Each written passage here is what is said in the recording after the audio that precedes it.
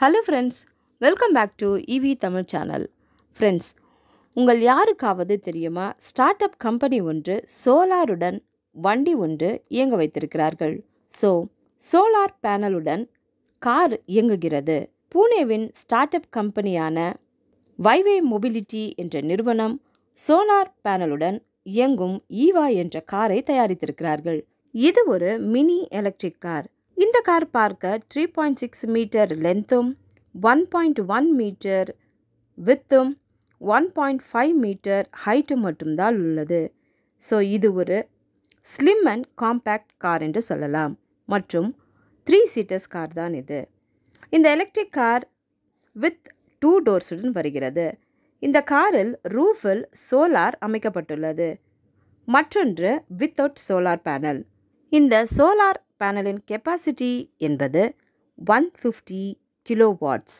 இந்த solar panel one டேக்கு one unit current என்பது ஜென்ரேட் செய்கிறது. ஸோ இந்த ஒன் யூனிட் என்பது ஒரு நாள் முழுவதும் ஓட்ட உபயோகமாக இருக்கும். அதாவது டென் கிலோமீட்டர் வரை செல்லலாம். ஸோ ரேஞ்ச் என்பது ஒன் யூனிட்டுக்கு ஏற்றபடி நமக்கு தருகிறது என்றும் சொல்கிறார்கள். இந்த ஈவா காரில் fourteen kilo watts liquid cool LFP பேட்டரியை யூஸ் செய்திருக்கிறார்கள்.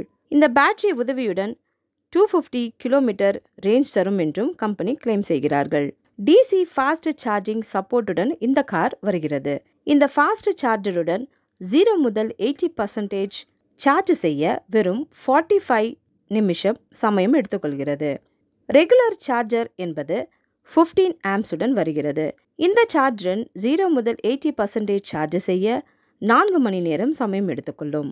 இந்த ஈவா காரில் twelve kilo watts peak power உடைய லிக்விட் கூல்டு மிட்ரவை மோட்டரை யூஸ் செய்திருக்கிறார்கள். இந்த பீக் பவருடைய மோட்டார் உதவியுடன் ஃபார்ட்டி என்எம் டார்க்கை ஜென்ரேட் செய்கிறது. இதனால் செவன்டி கிலோமீட்டர் பர் ஹவரில் சேரும். இன்டீரியர் பார்ப்பதற்கு பிரியமயமாக காணப்படுகிறது. இதில் டென் இன்ச் இன்ஃபர்டைன்மெண்ட் மற்றும் driver display Android or auto Apple CarPlay போன்ற டிஃப்ரெண்ட் ஃபீச்சர்ஸ்கள் இதில் அடங்கியுள்ளன. இந்த ஈவா காரில் சிக்ஸ் டிஃப்ரெண்ட் கலர்ஸில் அவைலபிளாக வரப்போகிறது. இந்த காரை டுவெண்ட்டி டுவெண்ட்டி த்ரீ ஆட்டோ எக்ஸ்போவில் டிஸ்பிளே செய்திருந்தார்கள். இதனுடைய ப்ரொடக்ஷனுக்கு ரெடியாக இருக்கிறது என்றும் கம்பெனி கிளைம் செய்கிறார்கள். இன்னும் நான்கு முதல் ஆறு மாதங்களில் அதாவது ஃபோர் டு சிக்ஸ் மந்த்ஸில் லான்ச்சாக ரெடியாக உள்ளது.